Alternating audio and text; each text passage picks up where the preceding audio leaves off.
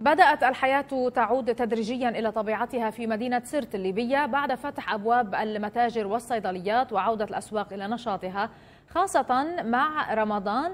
كما يحاول سكان المدينة من خلال حملات تطوعية تنظيف مدينتهم وإزالة غبار الحرب والدمار الذي طال مدينتهم. المزيد في هذا التقرير.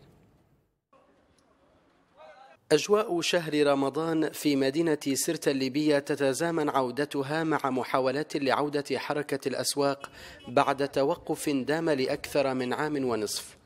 وبعد أن تخلصت المدينة من داعش بدأت الحياة تدب داخل شوارعها في أول شهر رمضان بعد الخلاص من داعش.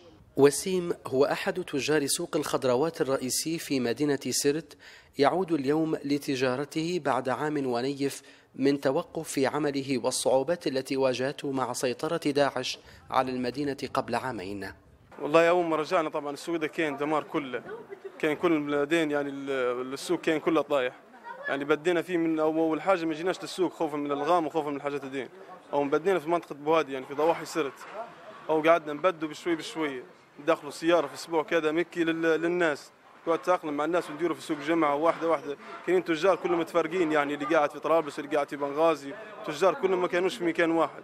قاعد يرد التجار يردوا الجملة تجار الجملة هي أول حاجة. يرد بشوي بشوية. قعدنا نرد التجار واحدة واحدة.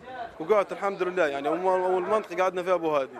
وبعد تالي جينا صرت هنا نظفنا أول حاجة مكان قدام السوق نظفنا وقعدنا فرشه أول جمعة عرفنا الناس إن السوق كويس هنا ورجع. وهذا أول شهر رمضان. طبعا لمدينة سرت تعيش ومدينة سرت بعد تحريرها من الدواعش ولله الحمد. طبعا آه، مدينة سرت شاهدت عودة الأهالي وبشكل سريع يعني لما لعنوه الناس النازحة اللي نزحت لمختلف مدن ليبيا.